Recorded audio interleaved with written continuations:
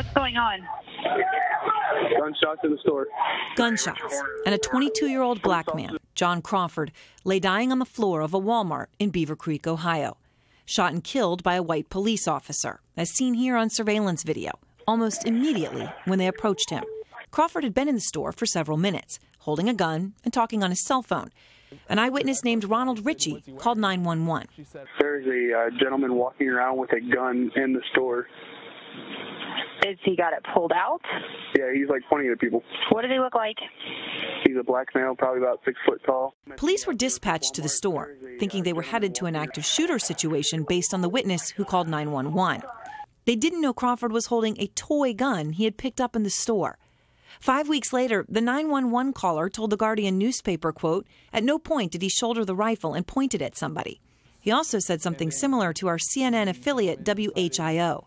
He wasn't actually like holding it to getting ready to shoot somebody. Ronald Ritchie has not returned our calls for comment, and neither the police or the state attorney would talk to us about Ritchie, who is an important witness to the case. Crawford's girlfriend had been waiting in their car. After the shooting, police questioned her, accusing her of lying, asking her where Crawford got the gun, even saying she appeared to be high on drugs. You understand that, that we're investigating a, a, a serious incident. You lied to me, and you might be on your way to jail. Where did you get this gun? Out? Sir, I don't know. Later in the 90 minute drilling by police, word came that Crawford had died.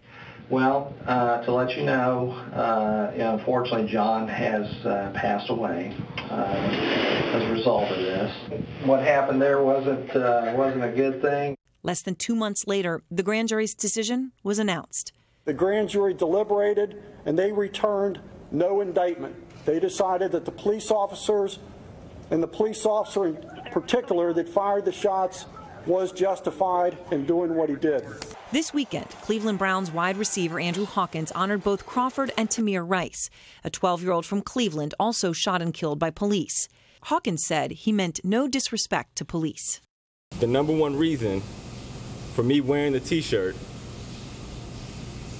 was the thought of what happened to Tamir Rice happening to my little Austin